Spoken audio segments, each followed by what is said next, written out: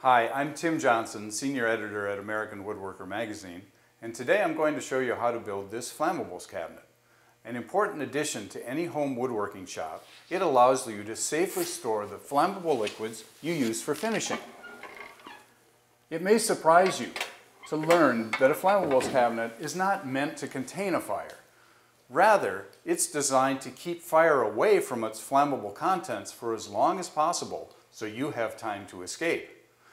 Its signage also helps firefighters identify and isolate a danger zone. This cabinet is designed to meet the code requirements of the National Fire Protection Association. Specifically, it's designed to keep fire away from its contents for 10 minutes. That might not seem very long, but in the event of a fire, every second counts. The cabinet is basically just a box, so it's easy to build, but to meet the NFPA code, there are a few special requirements. The first is that the cabinet must be built using one inch thick plywood, such as this one inch AC exterior grade fir. You can usually custom order this thick plywood at a home center, and full service lumber yards usually keep it in stock.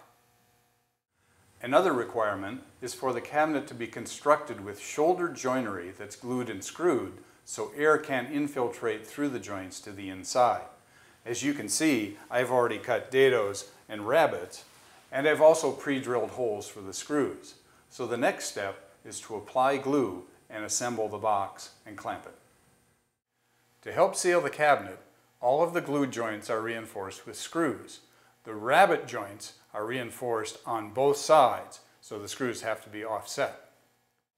It's easiest to install the shelf now before the face frame is attached to the cabinet. You can see the shelf is made out of 3 quarter inch plywood and has a lip attached to stiffen it. We had to use 3 quarter inch plywood because we used an entire sheet of 1 inch plywood to build the cabinet itself. The shelf mounts on cleats that you can see I've attached inside the cabinet. Here's the completed face frame. Like the other parts of the cabinet, it's made from one inch thick plywood. And on the back, you can see that I assembled it with pocket hole joinery and glue. You can also see that both sides and the bottom edge are rabbeted so they'll fit inside the cabinet. The top edge, on the other hand, isn't rabbeted because it fits into a rabbet that's cut into the top of the cabinet. Before I can fasten the face frame to the cabinet, I have to attach the door seals on its back side. The door seals are pieces of one quarter inch hardboard that are cut so that they overlay the door openings on all four sides.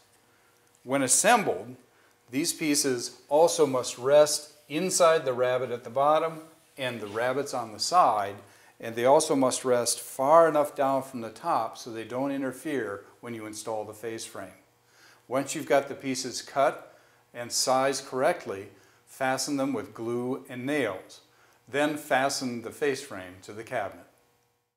Once you've finished building the cabinet, the next step is to apply a coat of fire retardant paint such as Fire-Free Class A, to every exposed surface, including the bottom, the back, and the doors.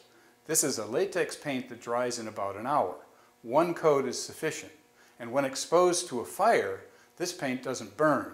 Instead, it swells and forms a char that protects the surfaces beneath it. After the paint is dry, install the doors to complete the cabinet. The doors have to be mounted on spring hinges so they'll close automatically. These are screen door spring hinges from a hardware store.